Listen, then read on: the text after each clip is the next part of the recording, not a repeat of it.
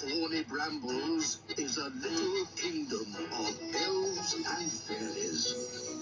Everyone who lives here is very, very small. I'm Ben Elf. And I'm Princess Holly.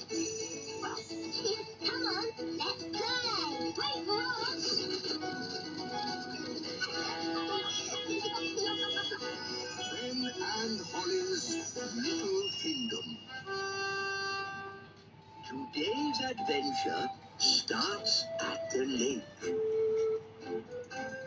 The Lost City. Today, I, Redbeard the Elf Pirate, set sail in my pirate airship Where are you going? to the Lost City. What's that? together. Hey, I- I think Poof is trying to say something.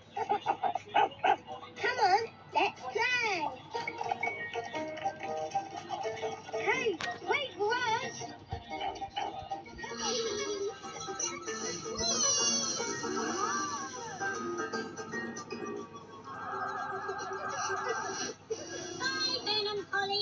Next time you go on holiday, you must come to Planet Bong.